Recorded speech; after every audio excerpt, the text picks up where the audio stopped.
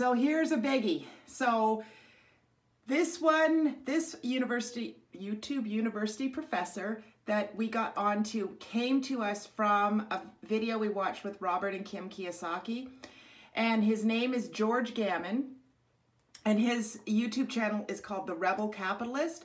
Okay, I have trouble following along with what he is saying, but he tries to take very complex thoughts and breaks it down into less. You have to really pay attention. You can't be doing anything else but just following along with what he's doing. And he has a whiteboard series where he breaks it down. But if you want to understand the bigger picture of what's going on, not just in the crypto world, George Gammon, but persevere, persevere.